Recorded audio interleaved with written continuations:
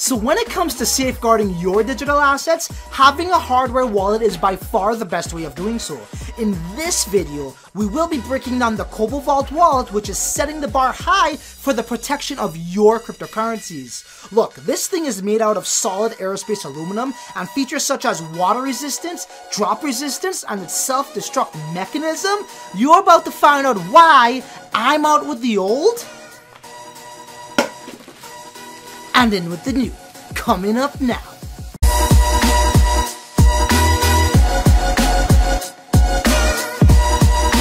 Is your money working for you, or are you working for money? Welcome to the Crypto Lifestyle, the lifestyle where your money works for you instead of you working for that money. And on this channel, we educate people on blockchain technology and the implications it has on not only changing lives, but also changing the world. We also cover live stream interviews with CEOs, ICO reviews on blockchain startups, and passive income opportunities in the cryptocurrency space. So if you're new here, definitely consider subscribing. Alright guys, so look, I gotta admit, I am very pumped for this unboxing review of the Cobo Vault hardware wallet. It just arrived yesterday in the mail, shipped by DHL. The team reached out to me and asked if I would like to do a review on it. So, you know, I mean, I don't normally do a review on every and anything that comes my way. So I visited the website, and after seeing what this thing is capable of doing, I mean, this thing is just an absolute beast. And it was a no-brainer for me to do the review. So look, in a little bit, we will be going over the unique features and benefits, and they are very unique and um, just crazy stuff that this device could really do. But first, let's unpackage this bad boy and take a look at the aesthetics and the physical appearance of this hardware wallet right now.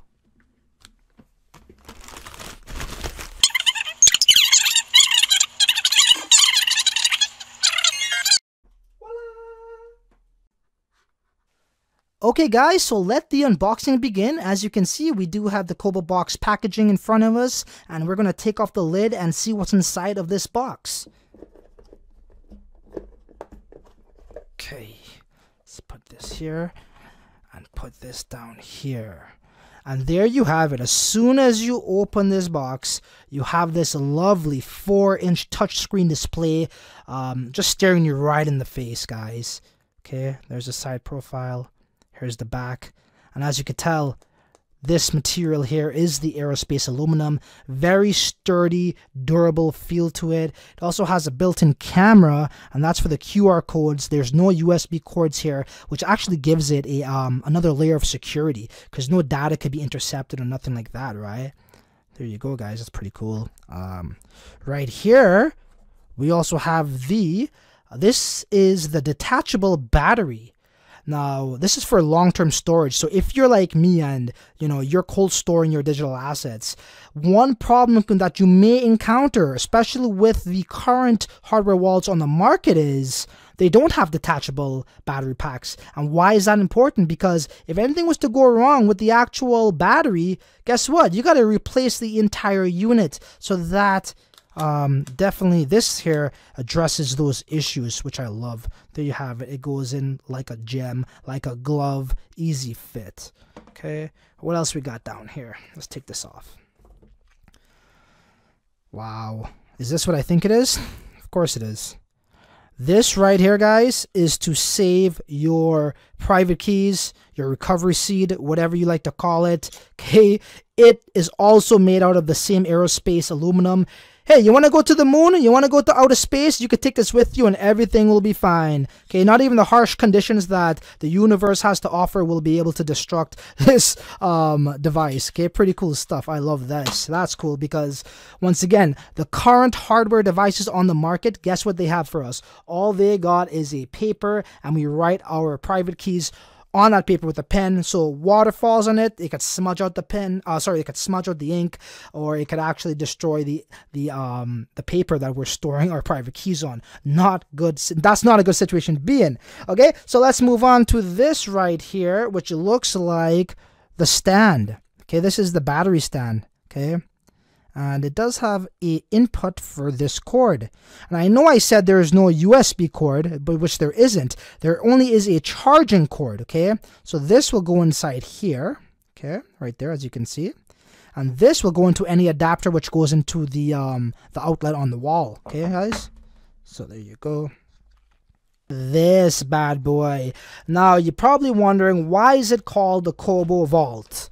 Well, bada bing, bada boom, bada bing, bada boom. That's why it's called a Cobo Vault, because they give you a damn vault. Okay? Clear cut, up front, point blank. I hope you get the point. Um, so pretty much, this will work like this. Go like this. Take the device. Okay. Oh, let me take off the battery first. Slides off very nicely. Put that in there. Probably put this. Which way would this go? Let me see. Like that. Yep. Just like so. Then you close it, guys.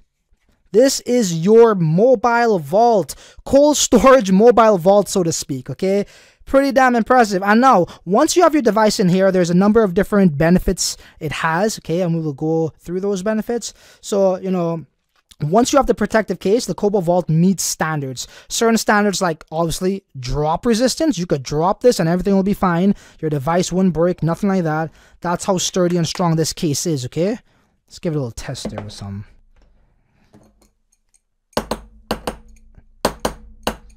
I didn't lock it properly, but I mean, you guys see what, you know, it's pretty sturdy. Also, it will meet vibration resistant standards. Okay, so go like this, shake it up, shake it up. Nothing's moving in there, okay? It's pretty, it's just intact.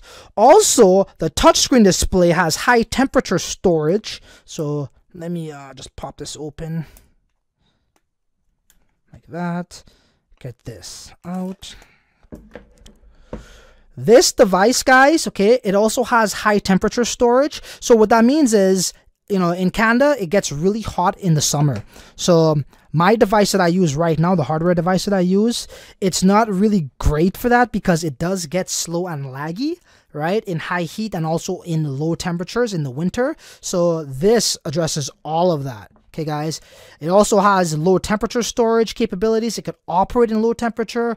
Um, anything with temperature shock, fog resistance. It's all pretty damn cool stuff here. We've never seen this before.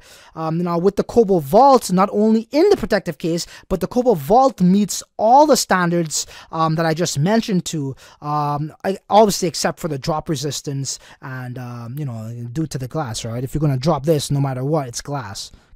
Glass would crack, but once it's inside there, the drop resistance is intact, and everything else I just mentioned without the case.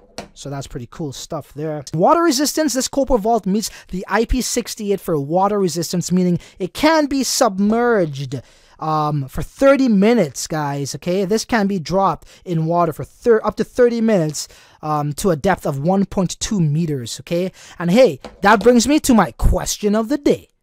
The question of the day is this.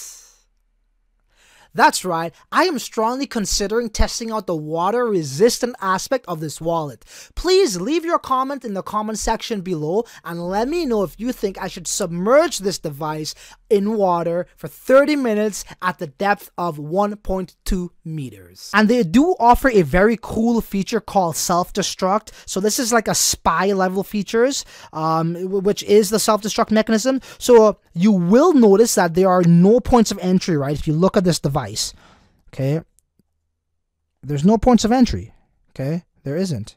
That's the power button. Okay, that's the slip in the, the uh, detachable battery, the camera, right? There's no inputs here, right? Okay, that's very important. Now, since they have no point of entry, on the Cobo Vault and the body is made of a unibody aerospace metal, guys. If a hacker, say, wanted to access the encryption chip by physically trying to take your device, okay, your Cobo Vault, or trying to cut it open, they have this um, technology that will self-destruct okay? It's a mechanism and it will delete all the private keys and encryption chips um, to keep it out of the hands of the hackers guys. So if even if they physically get your device they can't do nothing those other hardware devices on the markets cannot say the same. Now, there is something called a hidden vault feature that the, the team behind the Cobo Vault has created. Now, they have created a passphrase protected hidden vault, which enables us to pretty much create a secret hidden vault that can only be accessed through a backdoor entrance. Okay, guys? Very, very innovative stuff, very disruptive features here for the hardware wallet department. Now, look, I will make a separate review on this in the near future, along with the software and the user interface aspect of this wallet.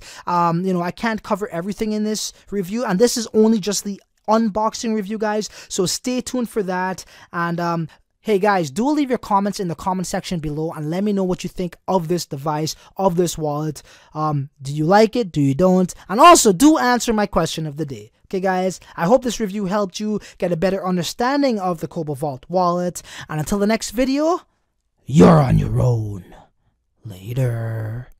Wherever I go, it just goes with me. Crypto life is the life I lead.